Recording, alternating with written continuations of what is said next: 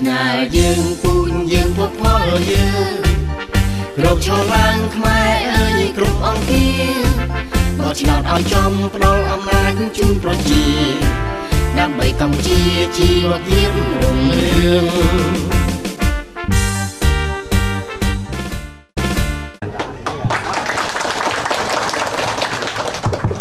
ខ្ញុំ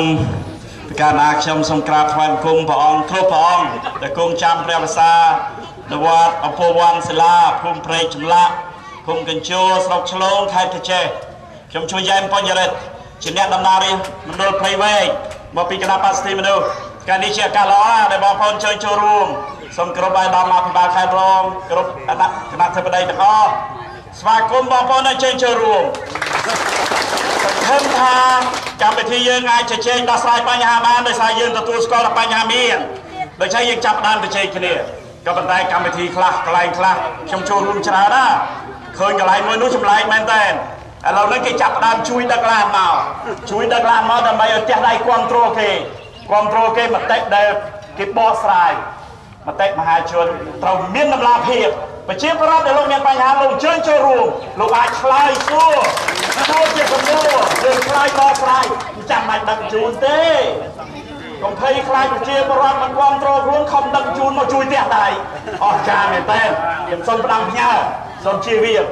ដូច្នេះយើងធ្លាប់ឮឮពាក្យអភិបាលកិច្ចល្អ